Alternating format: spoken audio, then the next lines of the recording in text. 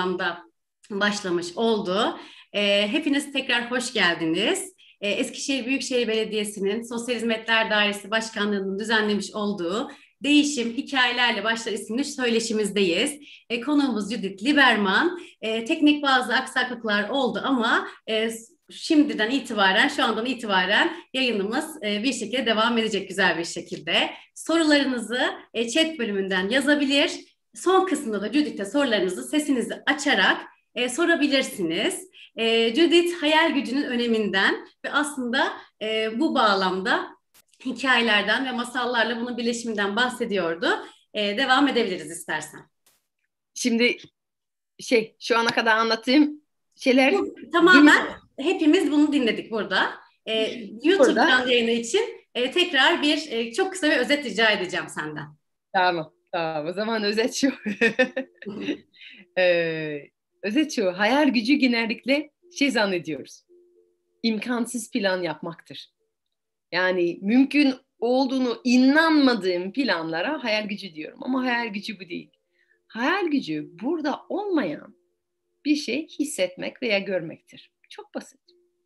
Burada olmayan bir şey hissetmek veya görmektir. Yani işte bu sabah bıraktığın yatağı görebiliyor musun şu an? Önünde olmadığına rağmen onu gözünün önünde getirebilir misin? Yani yastığını görebilir misin? Çarşafın rengi görebilir misin? Başucu görebilir misin? Yatağında yastığına kafanı koymanın hissiyatı kulağına getirebilir misin? Senin yastık hafif mi, ağır mı? Onu hayali bir şekilde kollarında alabilir misin? Senin yastık bu elyaf, hafif böyle bulut gibi bir yastık mı yoksa ağır böyle bir e, lateks yastık mı? Eğer bunları hissedebiliyorsan hem bana bakıp hem ekranda olup hem de aynı zamanda kulağında yastık, gözün önünde çarşaf rengi, sabah yatağın bıraktığın halde ya böyle düzenli ya karma karışık yatağın nasıldı içinde sabah kalktığın zaman kedi mi bıraktın, çocuk mu bıraktın, sevgili mi bıraktın, kaç tane? Eğer bütün bunları gözün önünde getirebiliyorsan o zaman şu an sen hayal gücünü kullanıyorsun. Yani hayal gücü bu kadar basit. Burada olmayan bir şey görebilmek. Ve bu bir kastır. Güç diyoruz ya, kas. Ne kadar çok çalıştırıyorsan o kadar kullanabilirsin. Peki diyeceksiniz ki hayal gücü işte sabah bıraktığım yatak ve burada olmayan yatak görebilmem. Bu önemli bir şey mi gerçekten? Böyle bir yeteneğimiz olması. Evet. Çünkü sadece yatağımız göre, görmeyebiliriz ki. Geçen sene yaşadığımız bir şey görebiliriz. Veya hiç yaşamadığımız bir şey görebiliriz. Örneğin uçmadan önce. Daha hiçbir insan uçabilen bir makine yaratmamışken bazı insanlar uçabildiğimizin gördüler. Önce masallarda oldu. Masallarda uçtuk. Uçan halılarda uçtuk. Süpürgeler üstünde uçtuk. Anadolu'da bir sorum. Anadolu'daki cadılar ne, neyin üstünde uçarlar? Batılı cadılar uç, uçan süpürge üstünde ama çat bölümünde bilenler yazsın. Anadolu'da cadılar uç, e, süpürge üstünde değil, neyin üstüne binip da uçarlar? Başka bir e, geleneksel şey halı değil. Bilim. halı değil. Cazular halı böyle biraz Orta Doğu. Uçan at var ama cazular için değil. Kazan evet veya küp. Kazanlar ve küpler içinde binip Anadolu cazular ve o yüzden e, Türkçe'de bu deyimi var. Küpleri bindim demek küpleri bindim delirdim demektir e, bu deyimi ama aslında nereden geliyor?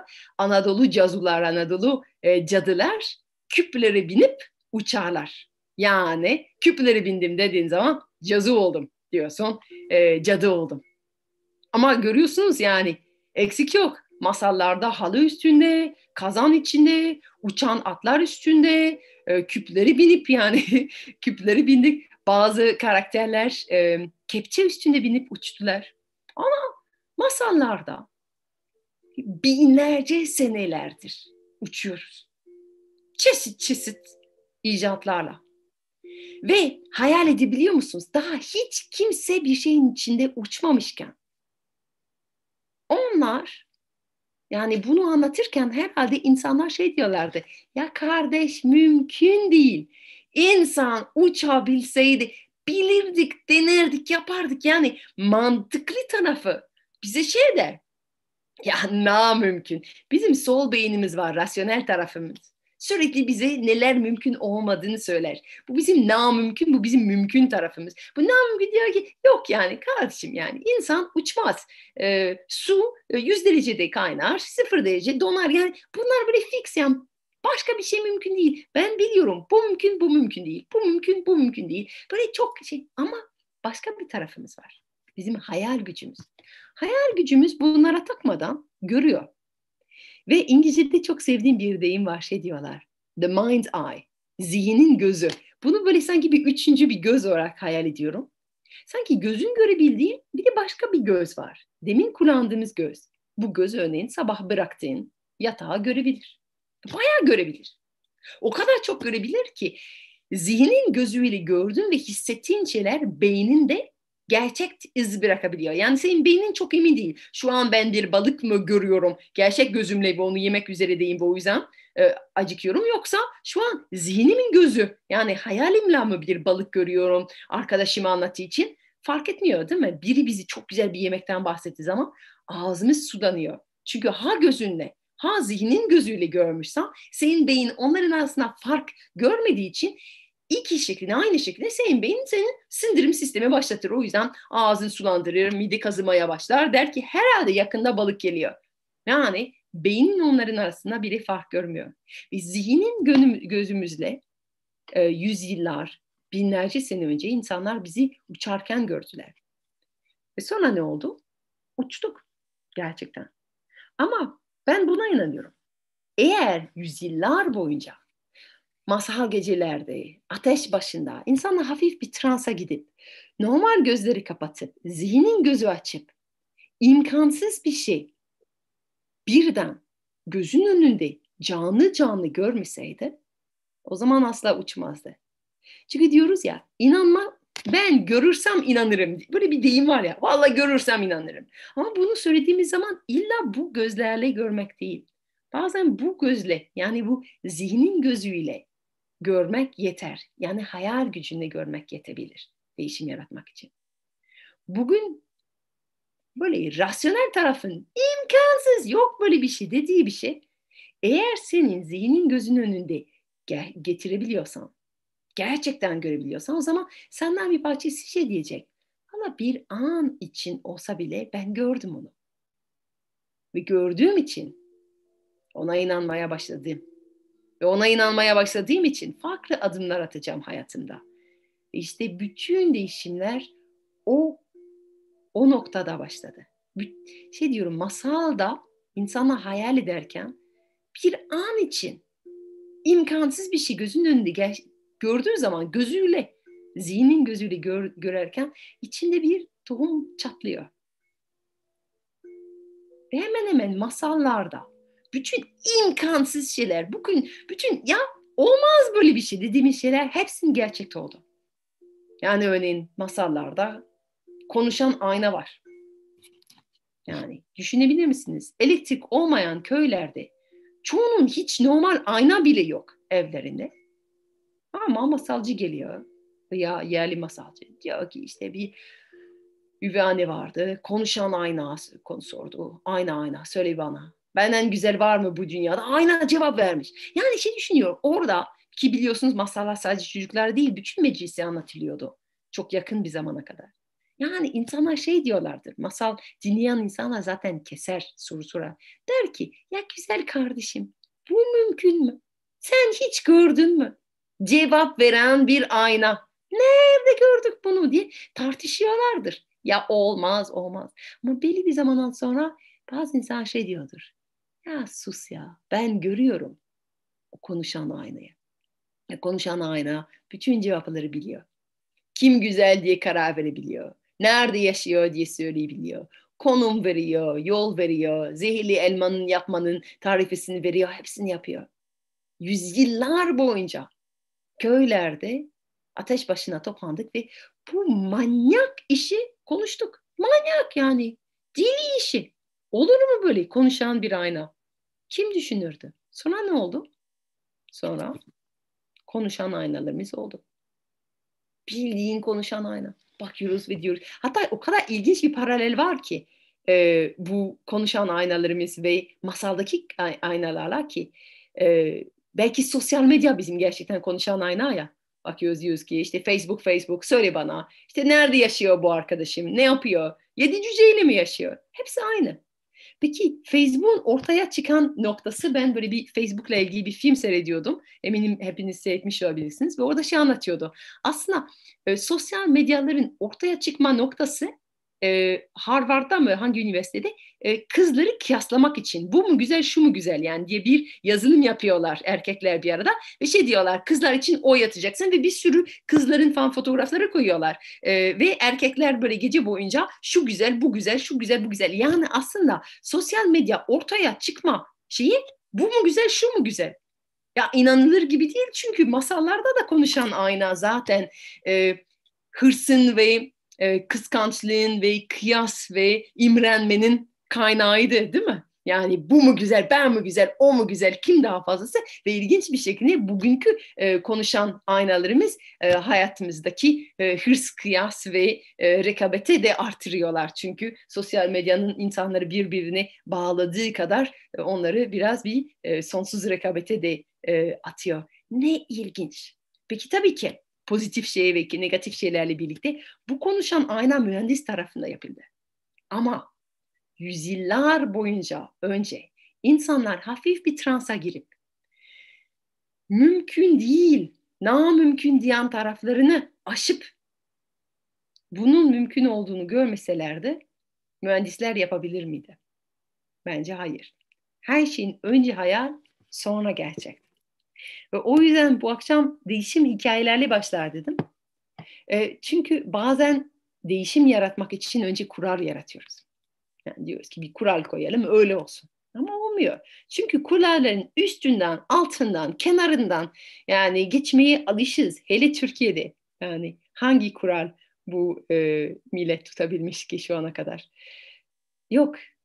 Ama önce inandığımız hikayeyle başlar her şey. Ve o yüzden kadınlar için başka bir gelecek hayal ettiğimizde şeyi bakmamız gerekiyor.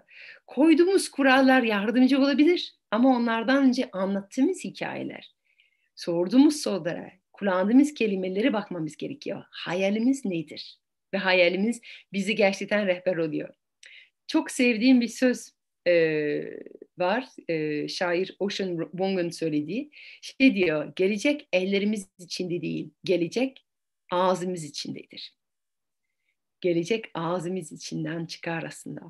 Ee, ve kullandığımız kelime, anlattığımız hikayeler bizi var edebilir veya yok edebilir. Bizi kaynat, kanat verebilir veya bizim kanatlarımız kesebilir. Ee, o konu hakkında bir tane küçük bir masal anlatmak isterim. Ağzımızdan çıkan kelimelerin dünyada nasıl bir etki ettiklerin hakkında. Derler ki, derler ki dolunay bir gecesinde kocaman bir aile faresi, bir fare ailesi yaşadıkları kapkaranlık kuyudan, delikten çıkıp birlikte gezmeye gitmişler. Oh, tabii ki bir fare ailesi böyle bildiğin aile gibi değil. Kaç kuzen, kaç amcalar, kaç teyzeler böyle yani birkaç nesil bir araya geldi. Uf hemen 300 fare oluyor. Hepsi de dolunayın altında tarlalarda gezmeye gittiler. Gezdiler, tırtıkladılar. Oradan biraz mısır kalmıştı, burada biraz buğday, al sana çimler, bana çimler derken vardılar bir kuyuya kadar. Hepsi kuyunun etrafında dizdiler ve derinlerdeki dolunayın altına parlayan suya baktılar. Oh, gümüş gibiydi. Ne kadar güzel görünüyor. Ah, var mısın içinde atlamaya? Var mısın yok musun? Var mısın gümüş içinde yüzmeye? Hmm. Bir, iki, üç tane varım diyerek zıplayıp atladılar. Atladılar da. Atlamak kolay. Gümüş içinde yüzmek de güzel. Ama çıkmak, çıkmak başka bir iş. Fareler çıkmaya çalıştıkları anda tırman tırman tırman kay, tırman tırman tırman kay. Kuyunun duvarları bir, bir civik, bir yapışkan, bir kaygan. Böyle iki adım yapmadan ziyup diye geri düşüyorlar suyun içinde. Bütün aile bunu fark edip aşağıya doğru telaşla bakıyorlar. Ay kardeşlerim, ay yeğenim, ay kızım ne olacak sana? Siz bittiniz, siz asla çıkamazsınız. Hangi akıllı atladınız ki bu kuyunun içinde? Var mı böyle bir akıl? Siz bitirdiniz. Burada bir çıkamazsınız. İmkansız çıkamazsınız. İmkansız. Ay. Ve anneler göğüslerine vura vura ağlamakta başladılar. Babalar kızmaya. Ya çocuklar bakamıyorlar bile. Gözlerini kapatıyorlar. Ay ben buna bakamıyorum. Buna bakamıyorum. Güzel kardeşim vedalaşalım şimdiden gidelim. Ey. Birinci fare çok çok debeledikten, debelendikten sonra son bir kere kaydı ve vazgeçti. Kuyunun dibine kadar battı yorgunluktan. İkinci biraz daha devam etti ama yine o da vazgeçti. Nafile. Yorgunluktan artık bacakları hareket edemediğini karar verip bıraktı. Üçüncü Vazgeçmiyor de vazgeçmiyor. Tırman tırman kay, tırman tırman kay, tırman tırman kay, tırman tırman kay. O kadar da kaydı ki. Her kaydığı zaman o civik malzeme biraz sildiği için belki de. Kaya kaya, tırmana tırmana, çize çize duvarın içini tutunabileceği yerler yarattı. Ve adım adım deneye deneye kuyunun yukarıya kadar çıktı. Oh!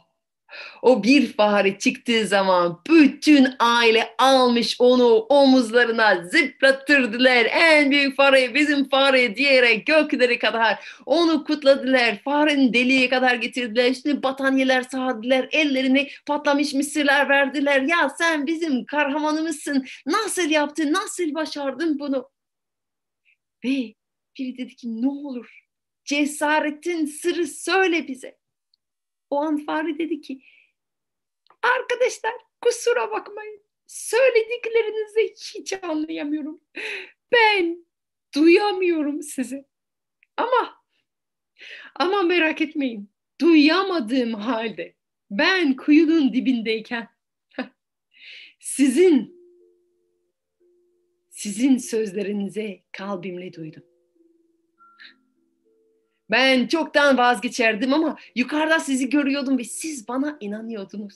Siz yukarıdan duymasam bile dudaklarınızdan okuyabiliyordum. Kesin yapabildiğimi bil, bana hatırlatıyordunuz. Ve işte bana söylediğiniz bu müthiş kelimelerin sayesinde, bana inandığınız için, beni desteklediğiniz için, ben kendime bile inanmazken bana yapabildiğimi hatırlattığınız için yani hepinizin sayesinde şu an buradayım. Desteğiniz, bana kanat veren kelimeleriniz için size teşekkür ederim. Bu konuşmanın ardında fare ailesine büyük bir sessizlik.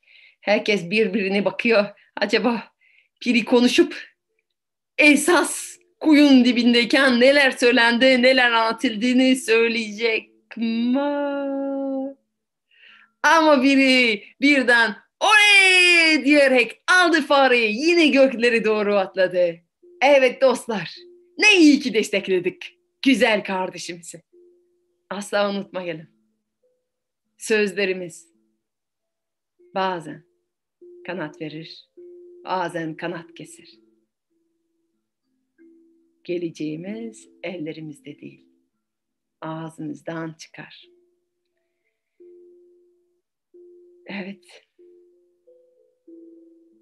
Bu fare hikayesi bence 8 Mart Kadınlar Günü için benim kalbime çok yankı yapan bir hikaye. Çünkü kadınlara inandığımızı söylüyoruz. Söylüyoruz. Söylemek kolay. Ama bir şey yapmaya kalktıklarında inanıyor muyuz gerçekten?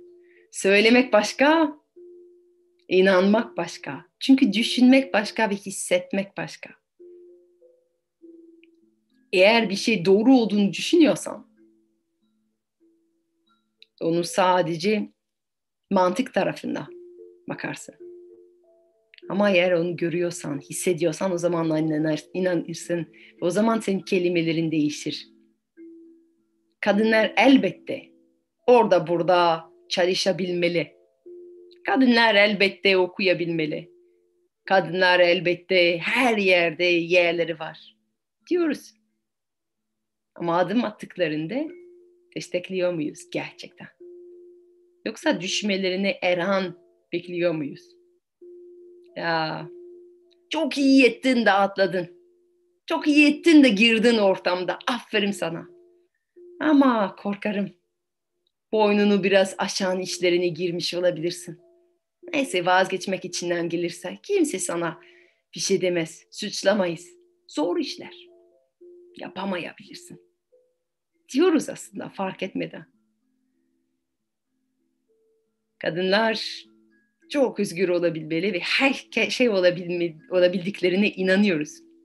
Zamanlar farklı. Yani kadınlar güzel olmak zorunda değil ama ben fark ediyorum.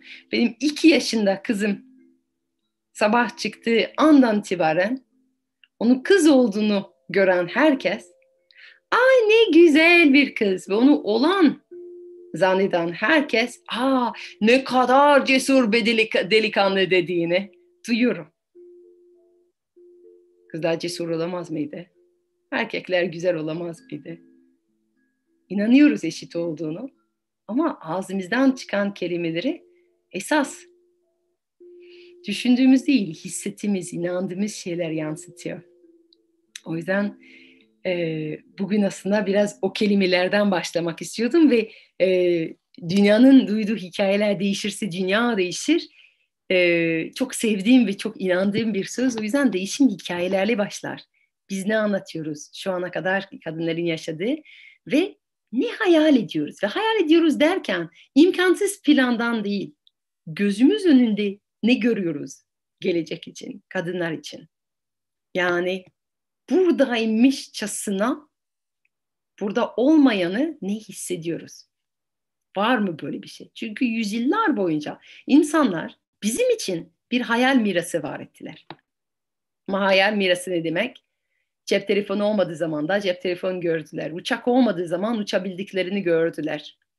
Ee, bu ve onun gibi birçok teknolojik şeyleri gördüler. Ampul hayal ettiler. Ampul olmadığı dönemde. Ee, e, arabalar hayal ettiler. Yani hemen hemen bizim teknolojik olarak elimizdeki olan her şey alarmdan tut e, cep telefona kadar hepsini masallarda vardı. E, imkansız olduğu döneminde insanlar kış geceleri boyunca hayal kurdular. Çünkü eskiden böyle bir ritim vardı. Yaz çalış, kış hayal kur. Gündüz çalış, gece hayal kur. Yani hayal kurmak insanların hemen yarım mesai zamanıydı. O kadar çok zaman yatırdılar ki başka neler mümkün? Ya da şu an mümkün gibi görünmeyen neyi gözüm önünde getirebilirim? Demek için çok büyük bir mesai harcadılar. Biz bu mesai yapmadığımızı düşünüyorum. Çünkü boş zamanımızda ekran önünde geçiyoruz ve ekranlar bize burada olmayan değil, bize var olan şeyler gösteriyor. Bir hikaye dinlemek ve hayal etmek ve bir hikaye seyretmek aynı şey değil. Çünkü seyrettiğim zaman tüketiyorum. Biraz şey gibi, e, merdiven ve yürüyen merdiven arasındaki fark. Şimdi Yüzükler Efendisi'nin romanı okuduğum zaman orada bana verilen cümlelerin ben doğan bir dünya var etmem gerekiyor. Yani hayal gücüm, hayal kasım çalıştırmam gerekiyor. Yüzükler Efendisi'nin kitapları bitirdikten bitten sonra herkesin hayal gücü, hayal kası daha kuvvetli. Çünkü birkaç kelimelerin üzerinde bir dünya hayal etti. Gözünün önüne getirdi. Ama Yüzükler Efendisi'nin bütün filmleri seyreden kişi her şey görmüş ama imgeleri kendisi yaratmamış. Gösterilen seyretmiş. Yani tüketmiş. Yani biraz biri merdivenleri tırmanmak, efor var, ben yaratıyorum. Öteki yürüyen merdivenleri kullanmak çok daha kolay. Yani filmin önünde oturduğum zaman hemen bir sürü imgeler gözümün önünde geliyor. Kolay, hiçbir efor yapmıyorum. Ama beni güçlendirmiyor. Günler boyunca her gün dizi seyret, film seyret. Dünya en uçuk şeyler olsun yani fantastik filmler seyret. İçinde uçan e, uzaylı e, mekikler olsun, içinde uçan atlar olsun, içinde yani her tür imkansız şeyler olsun. Hiçbir tanesi senin zihinden çıkmamış olur. Senin zihine girmiş olur ama zihnin yaratmadığı için hayal gücü kasın güçlenmemiş. Ama hayal gücü kasınız dünyada değişim getirmek için kullandığımız kastı. Onu kuvvetlendirmiyorsak nasıl başka bir gelecek mümkün olduğunu hayal edeceğiz. Ee, o yüzden benim e, önerim bu hayal gücü kasımız güçlendirmek ve kızlar için ve kadınlar için ve erkekler için. Çünkü geçen gün e, çok e, bir e, fabrika mavi yakalı işçilerle karşılaştım ve birlikte erkekler için başka bir gelecek hayal kurduk.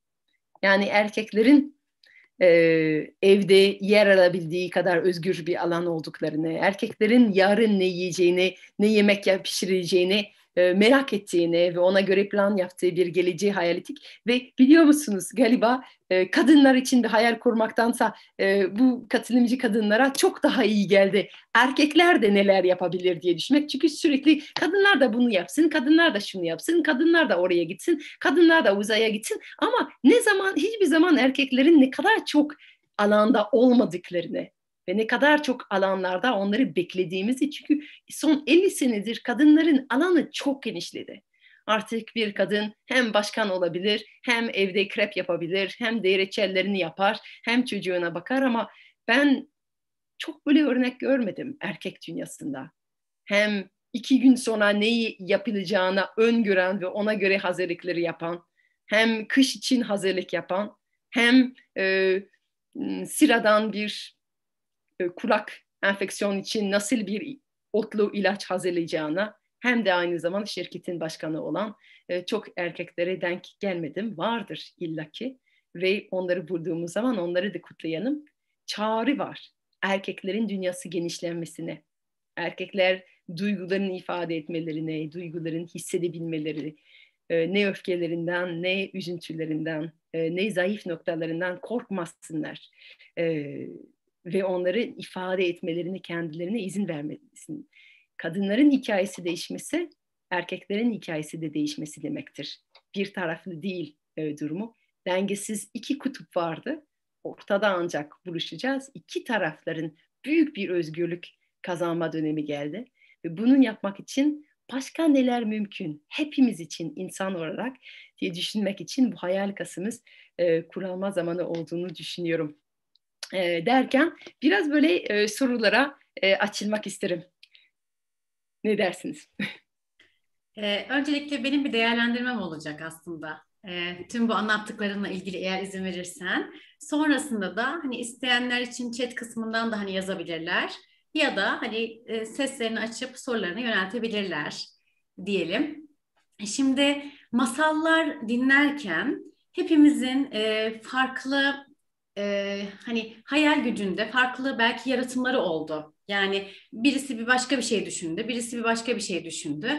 Bunu aslında biraz hem e, seni dinlerken şöyle de düşündüm. Yani bu aslında me- mesela ben bir psikoloğum ve yaptığım e, görüşmelerde de aslında bunu yaptığımı fark ettim. Ne gibi? Çünkü mesela kişiler e, farklı sorunlarla başvurduğu zaman aslında bizler de başka nasıl bir hayat mümkün ya da başka neler yapabiliriz gibi biraz daha farklı hikayeler düşünmek, e, farklı bir dünya için yapılabilecek olan şeyler konusunda biraz aslında kişileri galiba düşünmeye yöneltiyoruz. Yani çünkü yaptığımız onlar adına bir karar verici olmak değil, onları aslında kendi doğrularımıza yönlendirmek de değil, kişinin kendisi için farklı hikayeler yazması, e, farklı e, alternatifler üretmesiyle alakalı galiba. Sen anlatırken benim zihnimde hep bir yandan bunlar canlandı. E, o yüzden hani Gerçekten çok teşekkür ederim.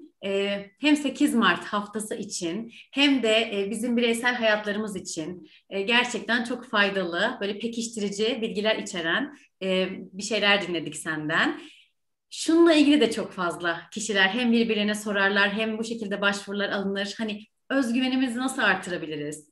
Ee, hani yaratıcılığımızı nasıl artırabiliriz diye. Bu konuda da bu hani hayal gücü, hani hayal kası aslında gerçekten e, düşündükçe, ürettikçe, e, belki üstüne yazdıkça gerçekten pekişecek ve böylece hani yaptıkça önümüz daha çok açılacak e, gibi bir şeyler düşündüm ben bir yandan. Bunları paylaşmak istedim seninle ve tüm katılımcılarımızla. E, başka paylaşım yapmak isteyen, soru sormak isteyen var mı? Şu anda chat kısmından bir soru yok. O zaman böyle belki kapanış niyetiyle küçük başka e, çok sevdiğim bir e, hikaye paylaşayım. Tamam. E, çünkü şimdi şey diyordun yani çok büyük başvurular şeyin üzerinde özgüven diyorsun. E, yaratıcılık çünkü yani mutluluktan çok bahsediliyor esas bence hedefi kendimiz olmak. Yani şimdi böyle büyük bir toplumsal bir hareketi var. Kadınların nasıl yaşamaları e, gerektiğini onlara anlatmak için. Ama onlardan daha ilginç bir yaklaşımı e, şeyi merak ediyorum. İnsanlara onlara nasıl yaşamaları gerektiğini söylemektense illa şu veya bu olmak zorunda değilsin çünkü. Onlara onları mutlu eden, onların kim olduğunu üzere bir merak, meraklı olmak yani. Herkes bunun iyi olduğunu düşünüyor ama ben ne istiyorum? ama beni canlı hissettiren nedir? Beni iyi hissettiren nedir? Beni meraklandıran nedir? Bana iyi gelen nedir? Çünkü ancak onları takip ederek insan kendi olabiliyor. Orada zaten o kendin yolunda yaratıcılık ve özgüven akar bence. Ee, ve o konuda çok sevdiğim küçücük bir hikaye var. Şimdi geleneksel bir hikaye. Ee, ama onu bence 8 Mart için yeniden anlatabiliriz. O yüzden önce geleneksel versiyonu anlatayım size. Ondan sonra birlikte 8 Mart için ne diyebiliriz ona. Geleneksel versiyon der ki, Zusya adlı bir bilge vardı. Zusya çok yaşlandığına rağmen artık 90 yaşlarında ve bazen dersin ortasında cümlenin ortasına böyle uykuya dalardı. Ama ileri yaşına rağmen öğrenci sayısı asla azalmamıştı. Hatta belki ileri yaşından dolayı onu kaybetmekten korkan daha fazla öğrenciler etrafına geliyorlardı. Ondan bir ders, ondan bir söz almak için. Günlerden biri yine etrafına toplamış öğrencilerin önünde bizim Zusya cümlenin ortasına hop diye daldı. Çenesi göğsün üstünde düştü. Hiç kimse onu uyandırmazdı kimse ses yapmazdı. Saygıyla yaşlı hoca uyanmasını beklerlerdi sessizce. O gün Zusya bir 10-15 dakika sonra uyandı. Ama uyandığında ağlıyordu. Hocam hayırdır ne oldu size? Ay, ay canlarım, öğrencilerim. Çok zor bir rüya gördüm rüyamda cennetin kapısındaydım. Ve cennetin kapısında bir melek beni karşıladı. E, e hocam bu bunlar iyi şeyler değil mi acaba? Tabii ki cennetin kapısında gidersiniz. Tabii ki melekler sizi karşılar ama şş, öyle değil dedi Suzan. Rüyamda cennetin kapısında beni ve herkesi karşılayan meleği bana nasıl bir soru soracağını duydum. Beni ağlama sebebim bu. Beni cennetin kapısında bekleyen melek bana şey demedi. Sen hayatın boyunca bir Musa olabildin mi? Demedi. Sen hayatın boyunca bir İsa olabildin mi? Bir bir Süleyman olabildin mi? Demedi. Bana sen hayatın boyunca Zusya olabildin mi? diye sordu. Ve işte Canlarım, öğrencilerim korkarım ki hayatım boyunca örnek olarak aldığım nice benden önce gelen önemli adamlar, başka bilgiler, başka insanların sözlerini dalarken onların izninde yürümeye çalışırken ben bu hayatta Zusya kim olduğunu merak etmekte unuttum. Şimdi bu hikaye 8 Mart için anlatsak.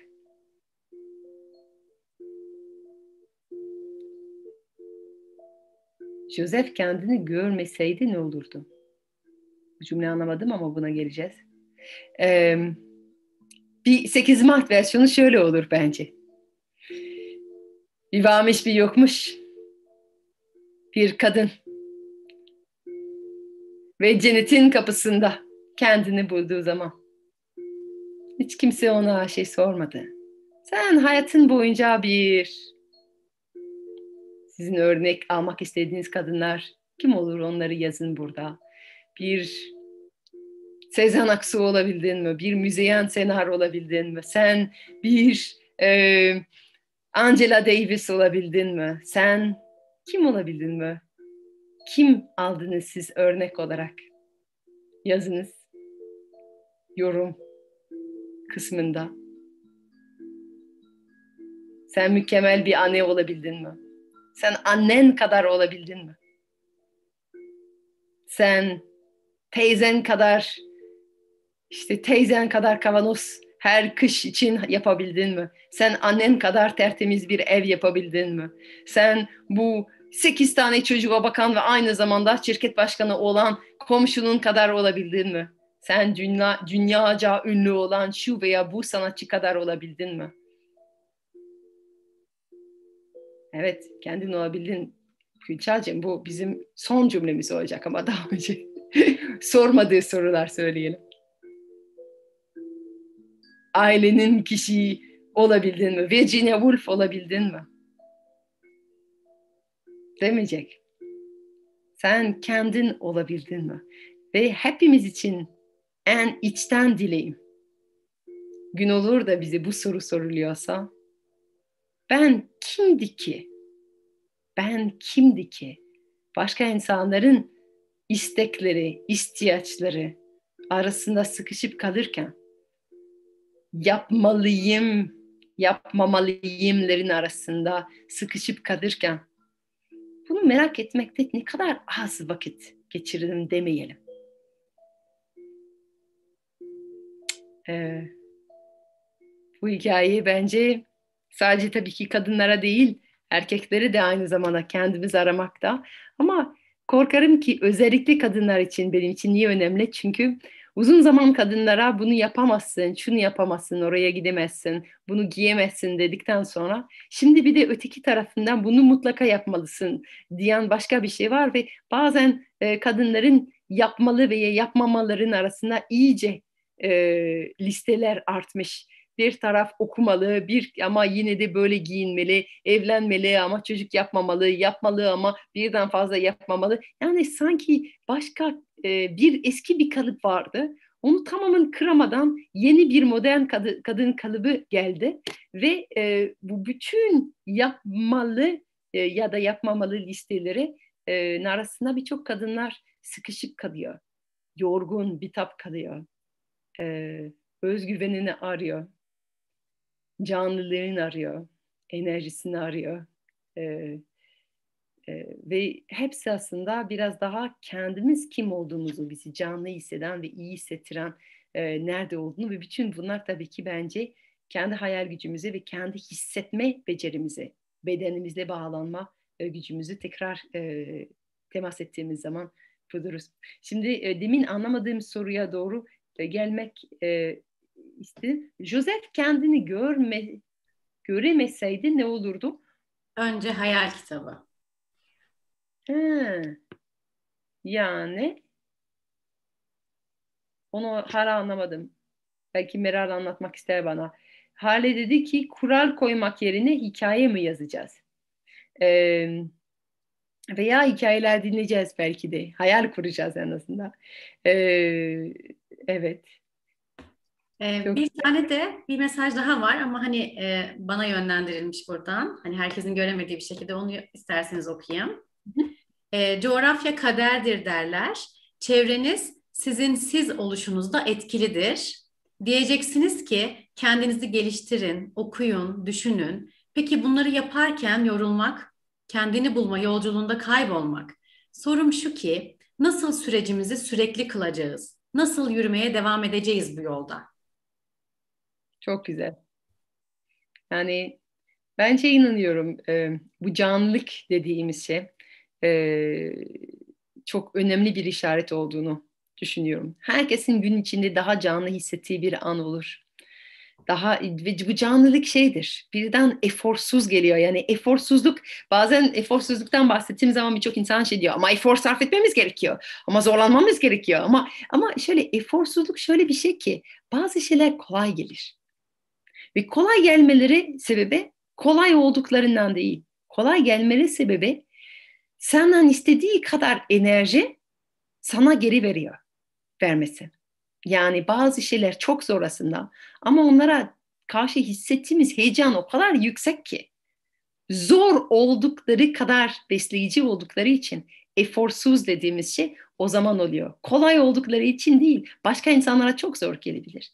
Ve yeteneğin bu diyorlar. Yeteneğin başka insanlara çok zor ama sana çok kolay gelen, başka insanlara dağ gibi gelen ama sana böyle hep yaptığın bir şey olduğunu ve fark etmeden yaptığın şey oluyor. Çünkü sana senden istediği kadar çok enerji sana geri veriyor, canlı hissettiriyor.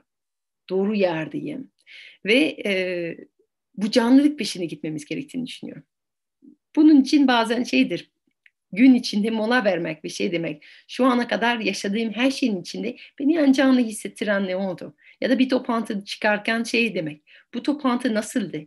Sırtımda bir ton kiremit gibi mi yoksa heyecanlandım ve bitmesini istemedim mi? Bunu yapmak bana iyi mi geldi, zor mu e, geldi? Yani bazen bir tane e, çalışma yapmak için başlarız ve deriz ki çok zor olacak, çok zor olacak ama ol, olunca o kadar heyecanlanıyoruz ki şey diyoruz. Aslında bitsin istemiyorduk. Not tut. Canlılık vardı burada.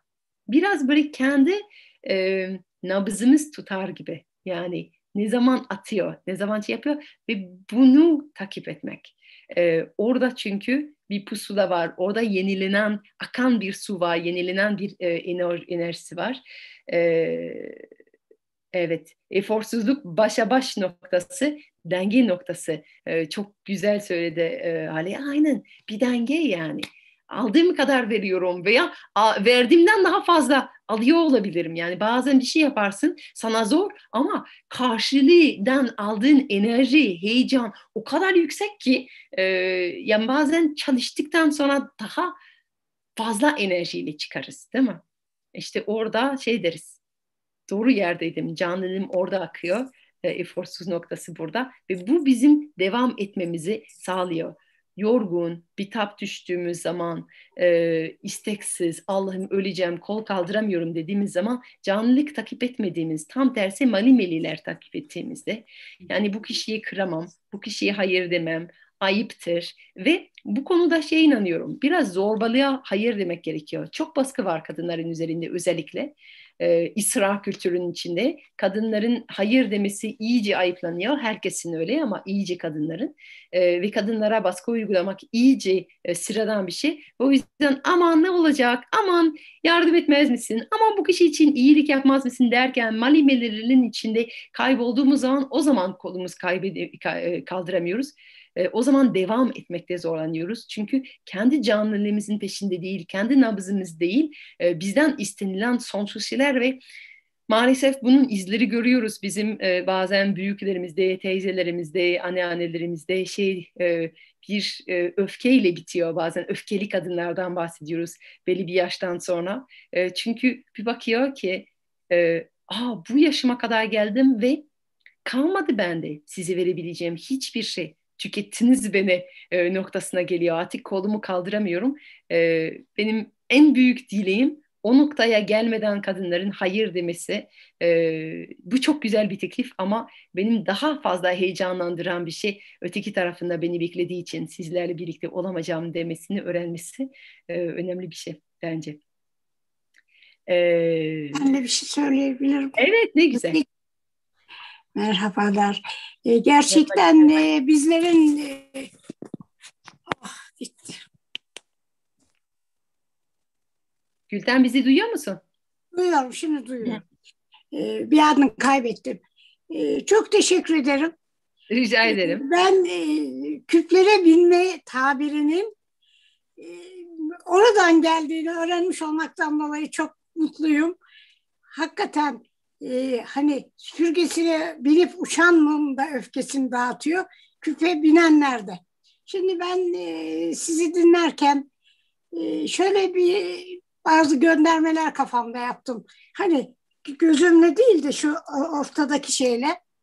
Şimdi e, ayna e, ayna mitolojisinden veya ayna ben bahsederken benim de şöyle bir şey hep aklımda kaldı. E, gerek ütopyalar gerek mitolojiler de masalları besleyen ya da masalların da masallardan onlar kaynak alan şeyler. Mesela şeye ilk ayna deneyimi e, Narkissos'un e, suya bakarak kendini görmesi ve aşık olmasıdır.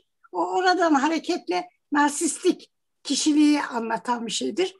Ama hani aynaya bakıp ayna ayna en güzel kim diye sormanın ta oralardan kaynaklandığını da görmek e, benim için zihnimi açıcı bir şey oldu.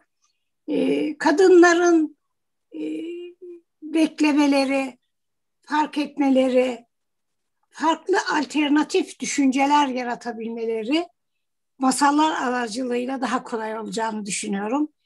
E, bizler de e, destek almak isteyen danışanlarımızla genellikle mevcut şikayetlerini binlerce kere anlattıktan sonra peki sen başka ne yapmayı düşünürdün? Ya da çocuklarından şikayet ederler ederler ederler. Peki anne bu çocuğun hiçbir bir olumlu tarafı yok dediğimizde arka arkaya bir sürü olumluluğunu koyabilir. E, bu da e, zihnimizin çok kas katı olmaması gerektiğini düşündüren e, güzel açılımlar.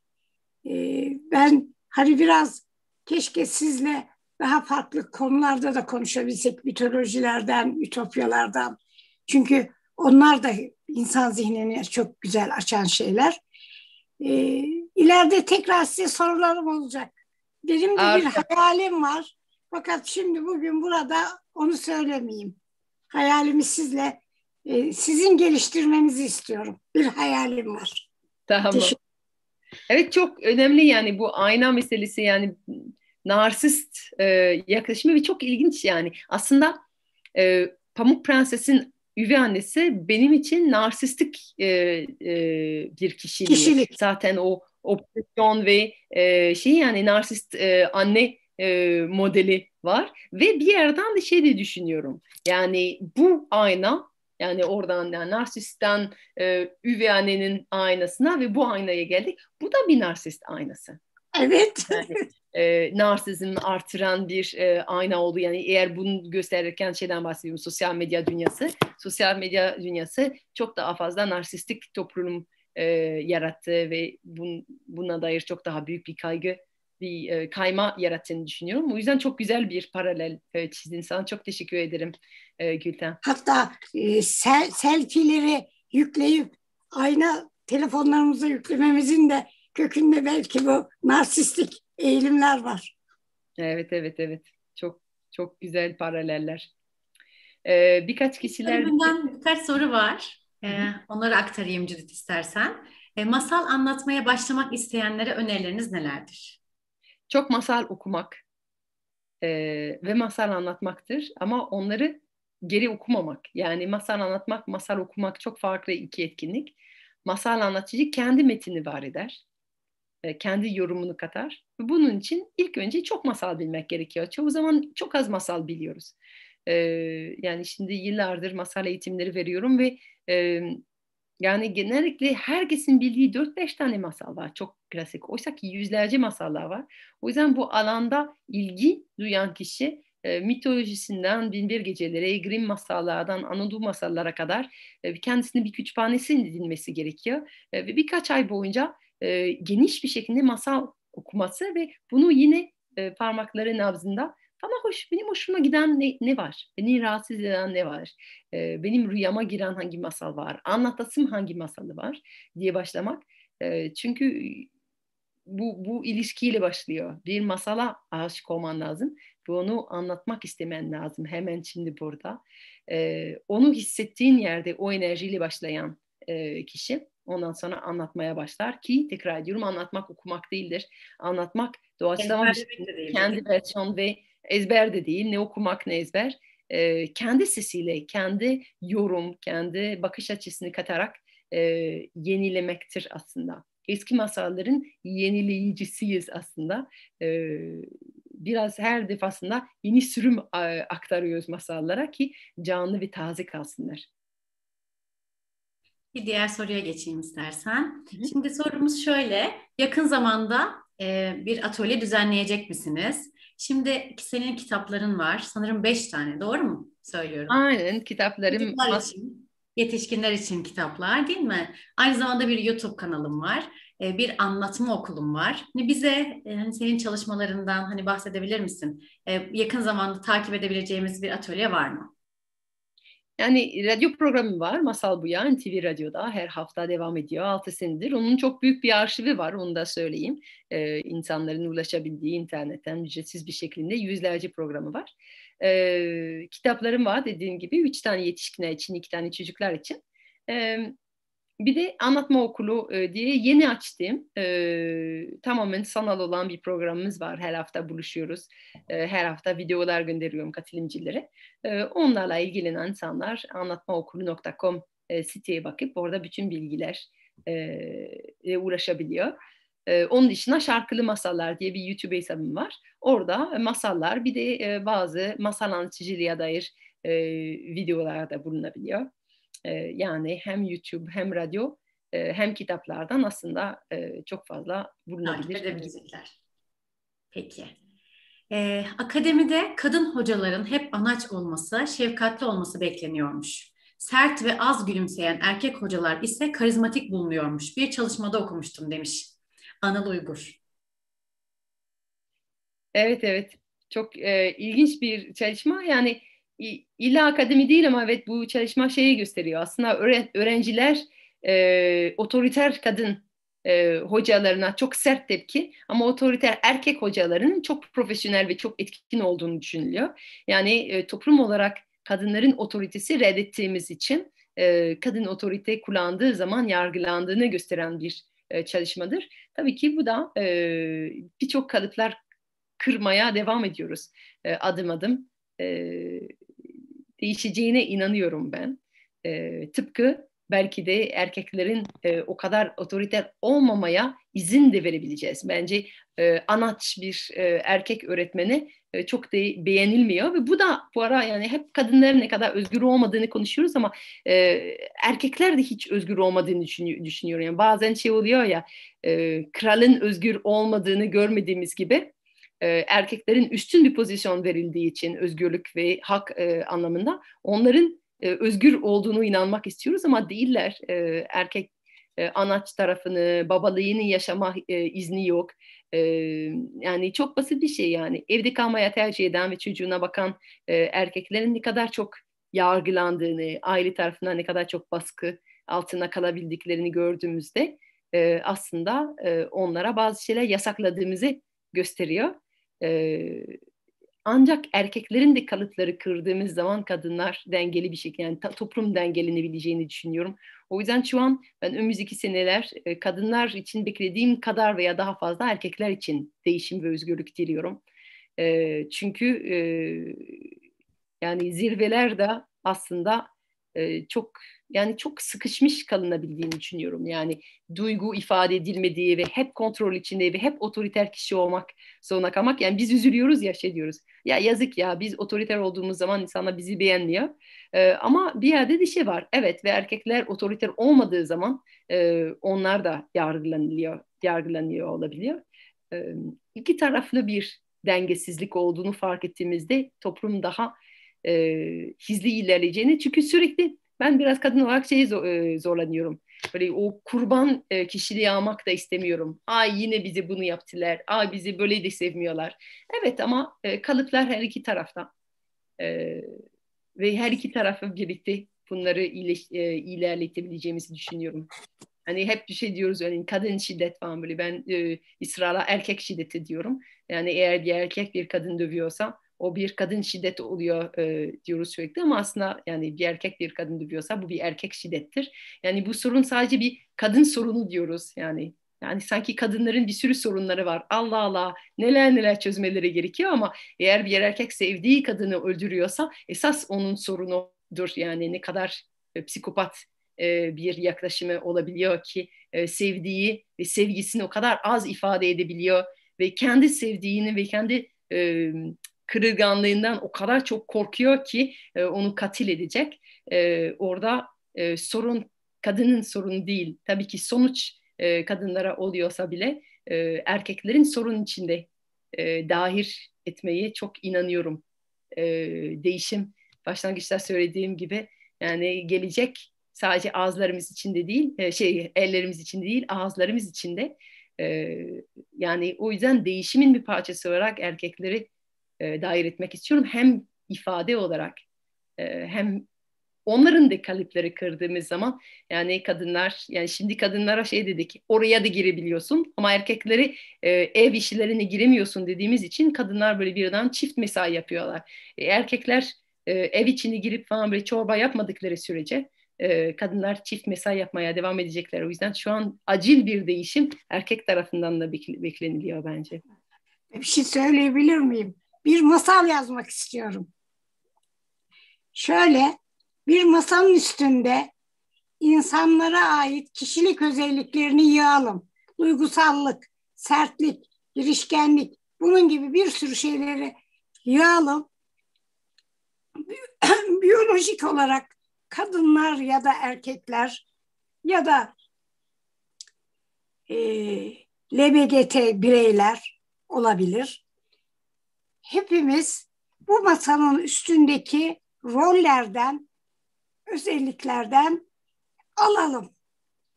Bir biyolojik kadın sert bir özellik alabilir.